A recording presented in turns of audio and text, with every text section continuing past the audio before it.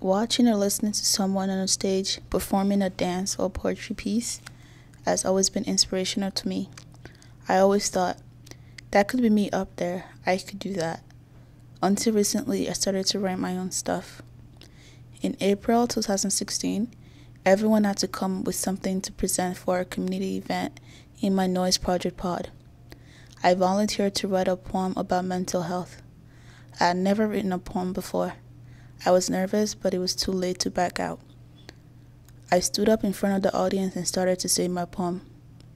I missed a couple of words, but I got through it. It was a breakthrough for me. I felt confident I could do more spoken word.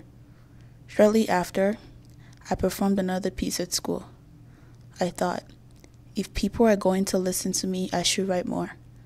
But inspiration wasn't hitting me. Days and weeks went by and nothing happened. When I saw Jesse Williams make a speech on the BET Awards about police brutality and black culture, I felt encouraged. I'm not the only one that feels like something has to change. Finally, I found the inspiration that I needed to write.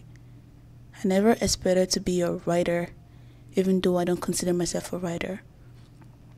Writing helps me get away and be in my own little world. When I'm doing it, words just crash into rhymes, especially when I have space to myself. In the future, I want to write more and use my voice to tell my story.